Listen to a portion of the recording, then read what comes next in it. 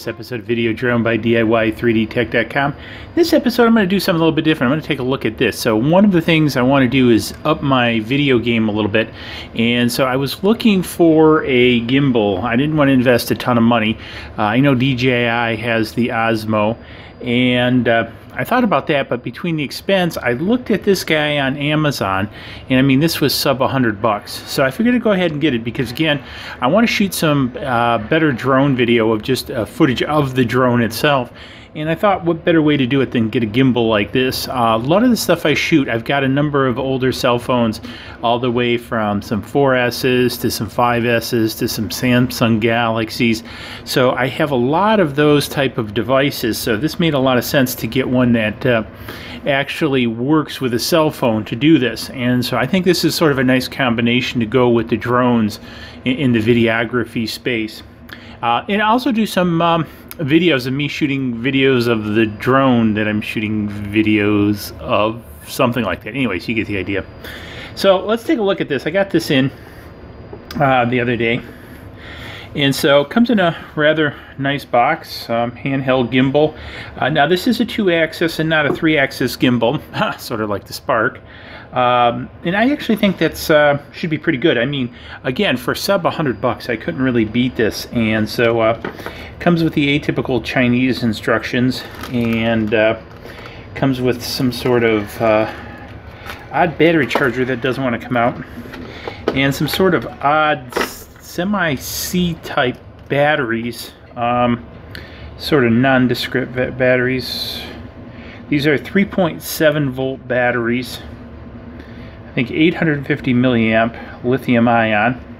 So apparently these go in the charger. There's three slots in the charger and uh, also charges by USB and it looks like a mini USB, not a micro USB. So they're a little bit behind the times with that, but that's okay. Um, and so this charges by a USB port.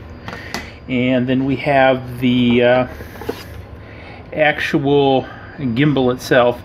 And uh, this mounts with the phone. And these are obviously the control mechanisms for adjusting various aspects of the gimbal. So um, maybe let's give this a try and see how it works. Okay, so we've charged the batteries. We got the batteries here. we're going to pop these out one of the nice things I like is you can stick your fingers through here and they just pop out.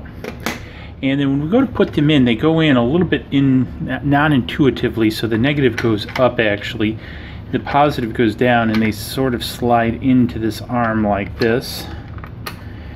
And then they just kind of press in, and then the cover goes on.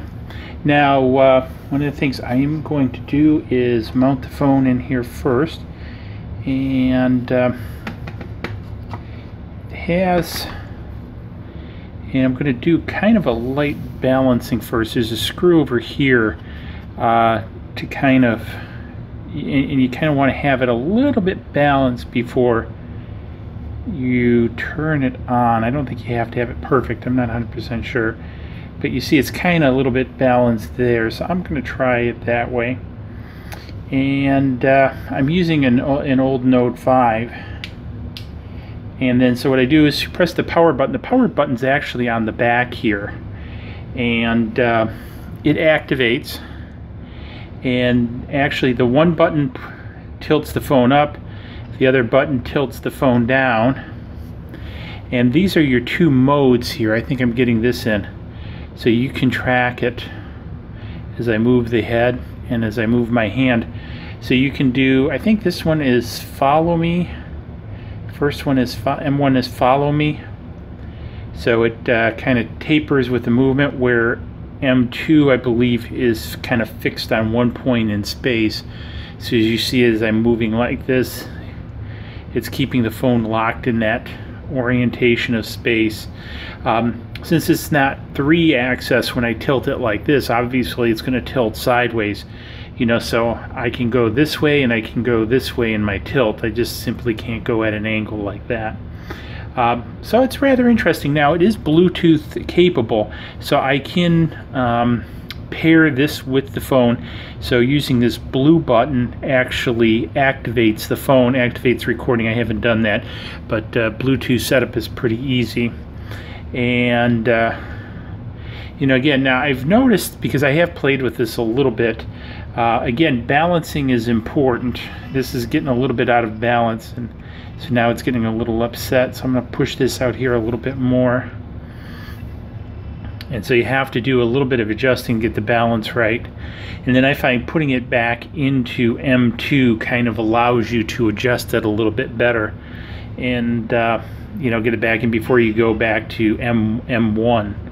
So, uh, so far I think this is pretty interesting. I'm hoping again to uh, up my game a little bit in getting some of the uh, you know imagery around the drone and everything uh, before I go to fly and things like that. I, th I, think you know you guys have seen then some of the other what I'm going to call a little bit more upscale YouTube channels, drone YouTube channels.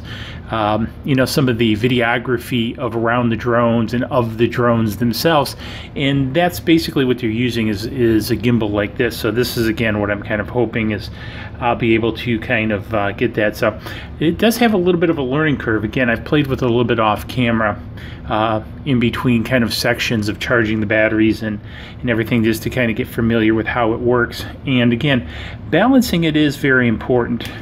And again, I'm going to turn it off and try a little bit.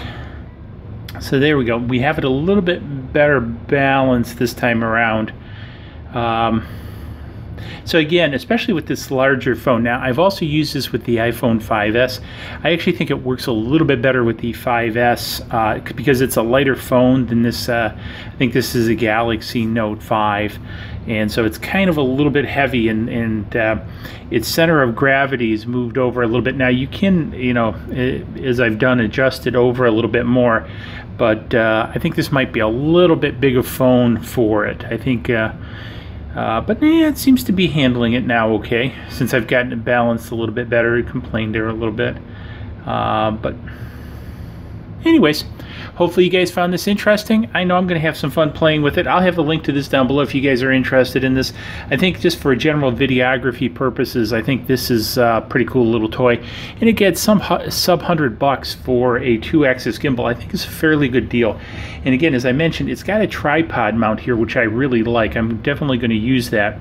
Um, so I'll let you guys know, and you'll see this probably in some upcoming episodes. So uh, you know the routine. Uh, subscribe button's coming up over there. Let me know what you had for lunch, and hey, comment below if you got one of these. What do you think about it, or do you have a different one or a better one? Um, you know, when I say better ones, I know there's a lot of better ones out there, but afford, let's say affordable better one. Let me know in the comments. Cheers. See you later.